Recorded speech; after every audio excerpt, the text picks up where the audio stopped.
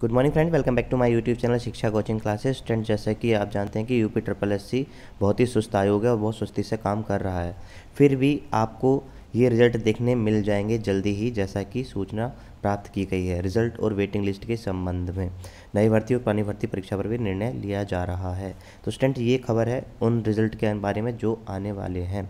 जैसा कि मैंने आपको पहले ही बताया था कि एजीटीए की वेटिंग लिस्ट एक ये और आपका जो दो रिज़ल्ट इसके साथ में एजीटीए की वेटिंग लिस्ट के साथ में दो परिणाम आने जैसा कि पता किए गए हैं आयोग से। पहला रिज़ल्ट है आपका केन सुपरवाइज़र 2016 का रिज़ल्ट और दूसरा रिज़ल्ट है जूनियर असिस्टेंट 2017 का बैकलॉग वाला रिज़ल्ट। ये दो रिज़ल्ट और ये एजीटीए की वेटिंग लिस्ट, ये तीनों आपको जल्दी ही देखने को मिल जाएँगे। सौ प्रतिशत पक्की खबर है आयोग की तरफ़ से। वीडियो में इतना ही। वीडियो अच्छी लगी तो लाइक करें, चैनल को सब्सक्राइब करें। Thank you so much. जय हिंद, जय भारत।